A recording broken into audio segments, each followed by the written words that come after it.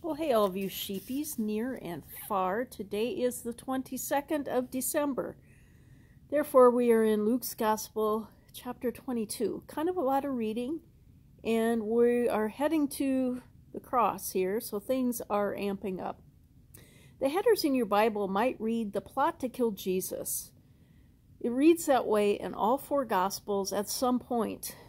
Uh, a couple years ago, I did a Lenten service looking at each of the Gospels' take on the plot to kill Jesus.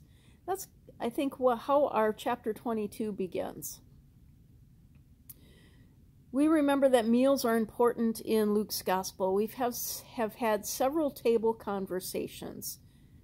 Table conversations, and, and now we are leading into the Passover.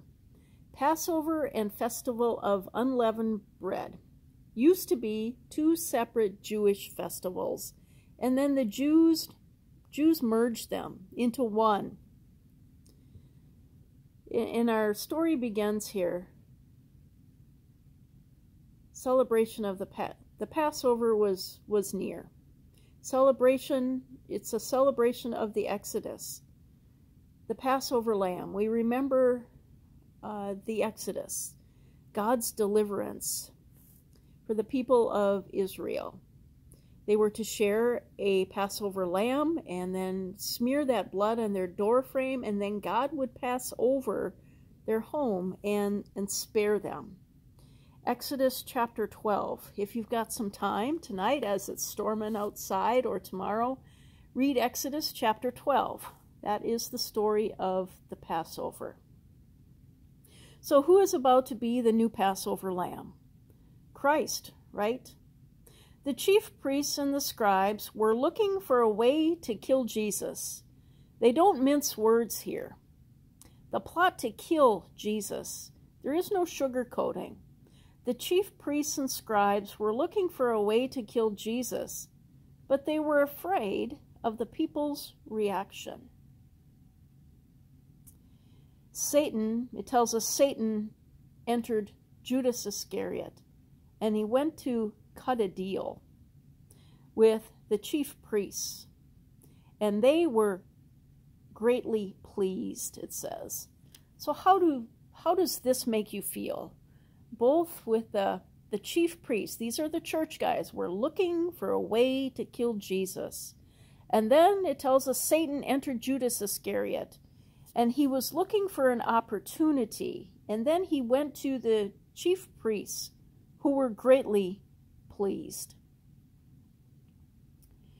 So, how did Satan enter Judas? Well, the same way Satan plays with us jealousy, envy, greed, pride, arrogance, want to be, the want, the urge to, the feeling to be number one, We've been watching the series, the TV series The Chosen. If you have again, if you have not checked out The Chosen, I urge you to do that. This is how I I imagine Jesus to be. And at the end of season 2, season 2 has just been completed and now season 3 episodes 1 and 2 have been in theaters and they've been broadcasting um, episodes on the Chosen app. But at the end of season two, we are finally introduced to Judas. And he's portrayed as uh, someone who doesn't have any parents. I don't know if that's biblical, biblically accurate or not. I guess I haven't done that much research on that. I'm sure The Chosen has, or maybe it's for dramatic effect. I don't know. But we see in episode one and two of The Chosen that Judas just has a sister. He he he's an orphan, you know. He he doesn't have a mom or dad or parents. He just has a sister. And he goes off to follow Jesus. But we can, can kind of already see his personality, his need to be great, you know, his want. So how does Satan enter Judas? By the, these attributes of jealousy and envy and, and greed. The same way Satan plays with us. And if you say Satan doesn't play with you, well, excuse me, there's a little bit of apple juice running down your chin there, you know, like the garden when Eve bit the apple. She had the same, that's how Satan entered into the garden too, by jealousy and need and, and, and want and, and greed. Sometimes we make Judas out to be the bad guy, but we can have these same attributes. And if we keep, take our eyes off Jesus, we're going to get sucked in. We'll, we'll get sucked in to sin. So they agreed to give him money, the chief priests. We know that Judas was the money guy, he was the treasurer. And Judas began to look for an opportunity. This was calculated. This was calculated. The rule of wealth is always contrary to the rule of God. Preparing for the Passover, the ultimate table conversation. The Passover lamb needed to be sacrificed in more ways than one here. During Passover, Jerusalem would swell to, to about 500,000 people. Wowza. Now, we need to remember there was only one church. Again, I keep emphasizing this one church. And the Passover was the festival, a festival of religious festivals. So every good Jew made sure to get to Passover. You know, maybe they weren't able to get to the Festival of Shelters. That was another festival. Uh, or other festivals. But the Passover was the one. They made sure they got to that. And so we see that Peter and John were in charge of making arrangements. Jesus says, Follow the guy with the water jar, and he will show you where to go. The upper room. Passover was to be celebrated with one's family. Jesus redefines family here the family of God. We mentioned that before a little bit. It's important to note that Jesus is not clueless in all of this. He knows exactly what is about to go down, and he is fully involved in preparing for his own death. Funeral arrangements. Do you have your funeral arrangements planned? As a pastor, I like to remind people that it's good to jot some notes. What hymns do you want? What scripture do you want? Who do you want to be the pastor at, uh, at your, your funeral? What kind of things do, do you want? Because if you don't write them down, your kids are going to do whatever. So, funeral arrangements. The Lord's Supper. We, we know this as the Lord's Supper, Exodus chapter 12. Go back and read um, the Passover. This is about covenant making and reflecting on God's deliverance. It's about remembering. The Passover is all about remembering and telling God's story of how God has delivered the Israelites, how God has delivered us as well. Tell the story of faith. Again, I'm going to, you know, keep urging you to write down some of the stories of your faith. Journal. Buy a spiral notebook or a composition book or a pretty journal. It doesn't have to be fancy. Just write down some stories. Uh, stories of your faith, how God has brought you from place to place. Your kids will enjoy that later on. Today's, you know, even after Christmas here, I know it's kind of busy, but the hustle and bustle with all of this snow and wind and blowing and you're cooped up, that's something that you could do. Write down things, write down memories. This is still God's deliverance. Jesus is ushering in a new covenant. This is a new covenant. He even says that this is a new covenant. This one, this covenant is about kingdom and service and servanthood and he calls upon his disciples to be a full embodiment of what all of that means. Only in Luke do we see two cups at the table two cups before the meal, two cups after the meal. There's a Passover ritual. Sharing a table signifies friendship and hospitality. And so, as we think about that, who is at the table? Well, the disciples, but including who? Judas is at the table. Judas is at the table. Friendship table. He's at the table of friendship.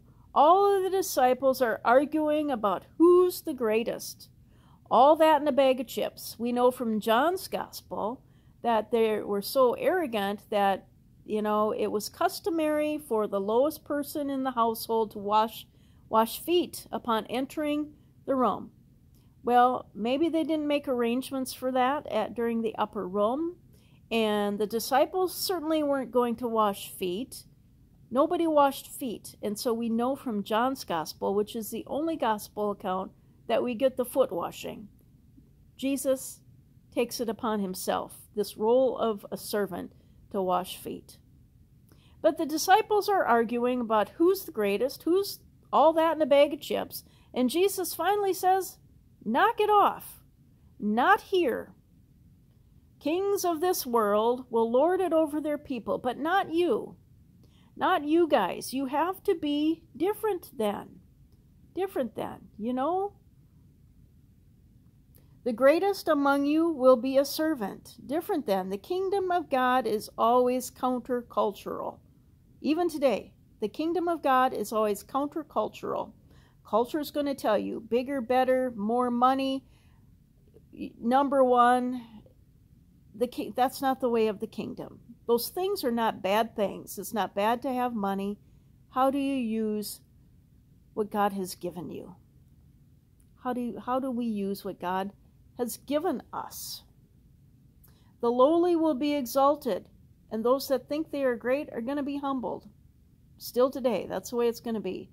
Someday, Jesus says, someday you will sit on the thrones with me and judge the 12 tribes of Israel, but not yet, friends. There's work to do.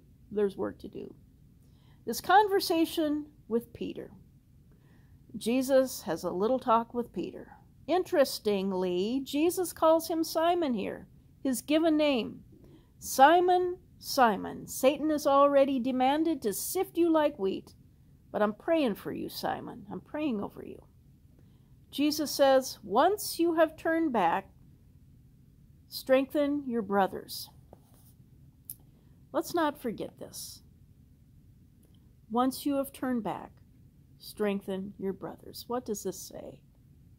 Well, it tells us, well, we know that Peter's going to deny Jesus three times, right? And Peter doesn't argue here. There's a, there's conversation in the other gospels between Peter and Jesus.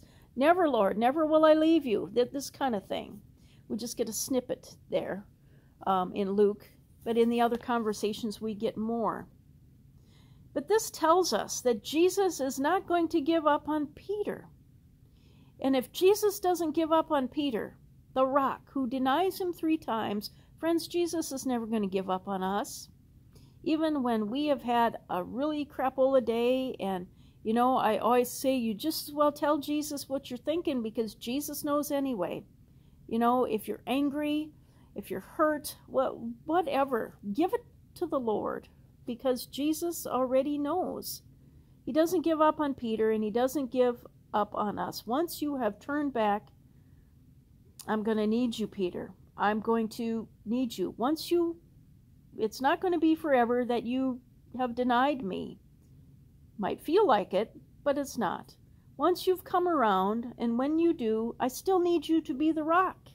I still need you to to lead the pack. I still need you to be the leader of the church.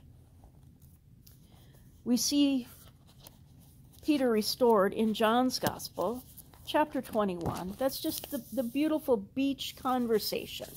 You know, three times.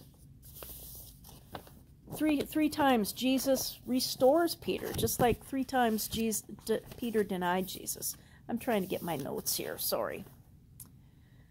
A purse, a bag, and a sword. Before Jesus sent them out with nothing. Remember, don't take anything with you. But Jesus, I want my cell phone and my my pillow and my blanket and my toothbrush and maybe some music. But now he's what's up with this? Take take a purse, a bag and a sword. What's up? Well, Jesus is telling us that there is a shift coming, friends. Before, they were casting out demons and healing and hanging out with Jesus, and people were receiving them well. There was hospitality because they were hanging out with Jesus. But things are about to change here. And their mission after this is going to be met with hostility. And so we go from hospitality to hostility. A sword. They will just means they're going to be met with violence. But Jesus says you're not to retaliate here. They say, they say, it doesn't say who said it, but to me it sure sounds like Peter. Someone says, Look, Lord, we've got two swords. Is that enough? and we're ready to roll. And Jesus says, Enough, enough. I can just see Jesus exasperated. Enough of this. And then they go to the olive grove, the garden, the Mount of Olives. I, I love how I think other gospel accounts call it the olive grove. To me, that I, I like how that reads, the sound of that, the olive grove. They went out to the olive grove, and um, another one of our gospels tells us that they sang a hymn on the way out to the olive grove. They got to the olive grove, and Jesus prays, and he says to the disciples, You have to pray for strength. You, you have to stay awake, friends, and pray. Jesus is the example here. He's the example when some hard stuff is going down. What do we need to do? We need to pray. Well, we find out they fall asleep. You know, they had that meal and that wine, and boy, it's been a day. And they fall asleep. Jesus is talking. We, we get a whole bunch of red letter Jesus words. If you have a red letter Bible, um, I would, you know, get a red letter Bible and get one with, um, you know, the the commentary and the the cross reference. That I I can urge you to get one. If you want to buy yourself a present, that's a good present to, to have. Here in Luke, we see an angel, which I love. Angel appears here in Luke, and we see Jesus sweating drops of blood only in Luke again. Luke is a physician, so Luke likes the details. Now, I went back and looked it up because I knew there was a fancy medical term here, and I can't read my notes.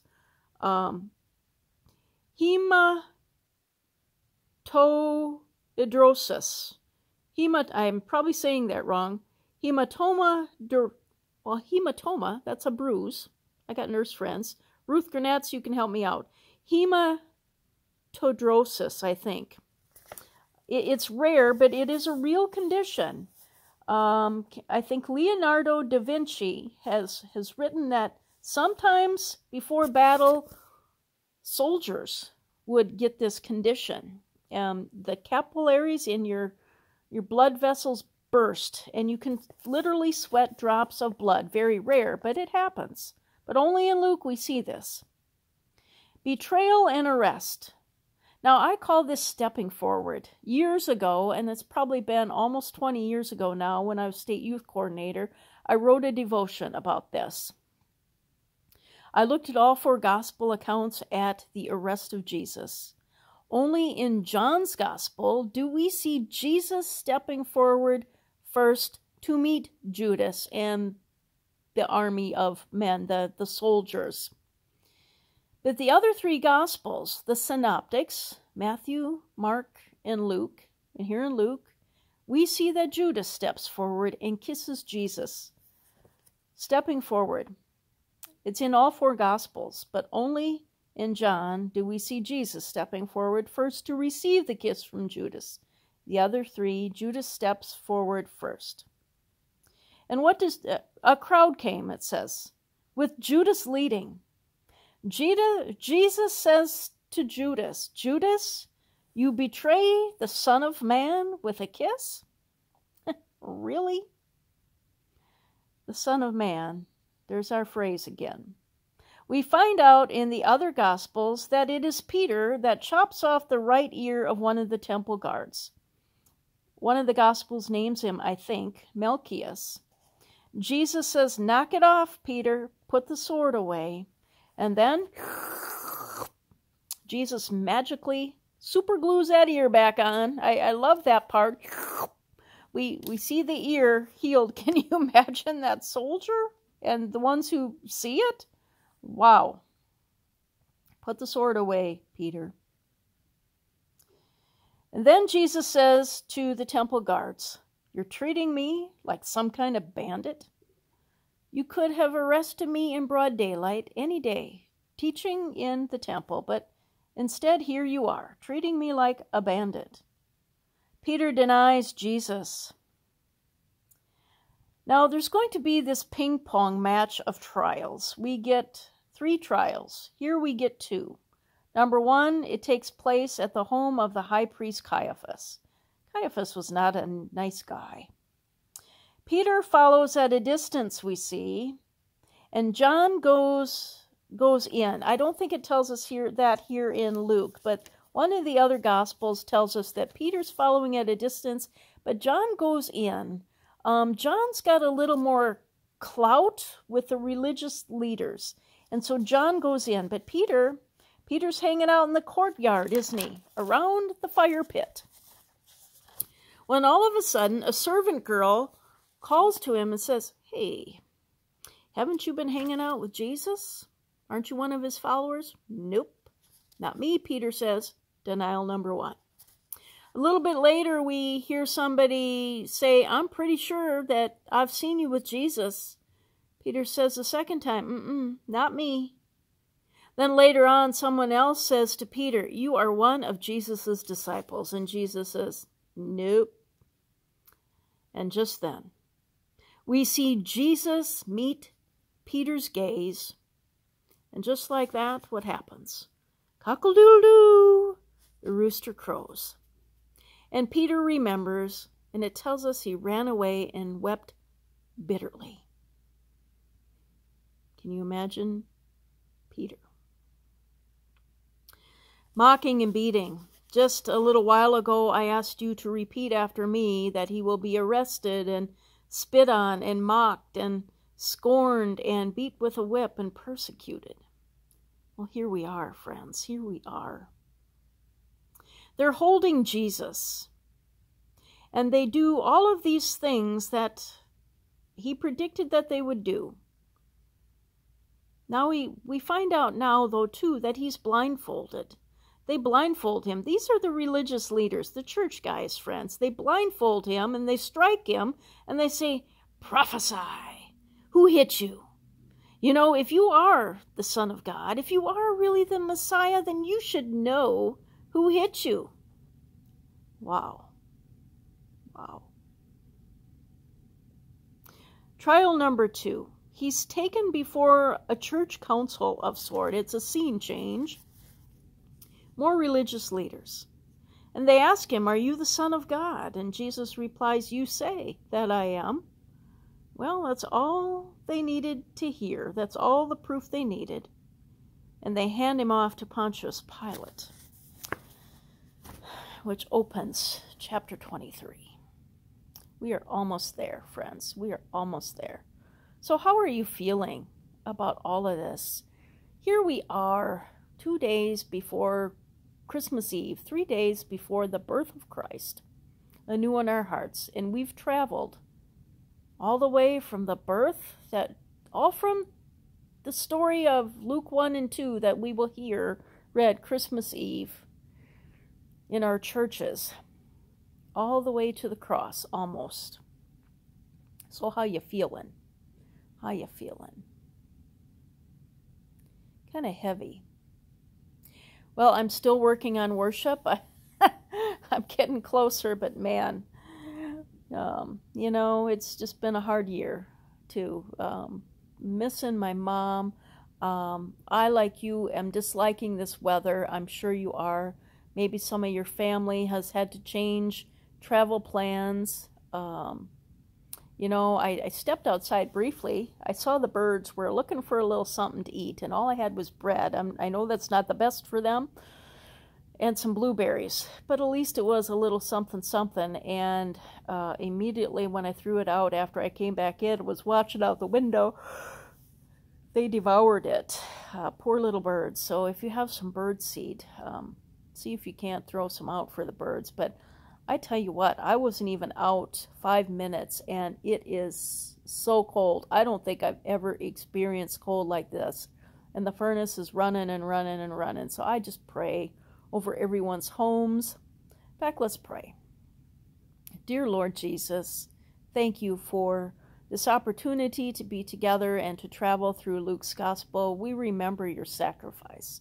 Of course, as we step into Christmas Eve and Christmas Day, we celebrate and we sing and we remember how God uh, stepped down into our world through you as a baby. You know, Mary and Joseph and, and all of the things as we sing Silent Night, and but help us also to remember the sacrifice. We pray over everyone's homes that the furnace stays going. We pray for those that are working that absolutely have to get to work to care for people, to care for people, medical staff, and we know that some plows have been pulled off the road, and so we just pray for all of those that take care of us. Lord, help us to take care of each other too. Give us good rest tonight and uh, keep us safe tomorrow and in the days to come. In your name we pray. Amen. All right, friends, have a good night. I'm going to try to post this a little bit early tonight. Bye for now. We'll see you tomorrow.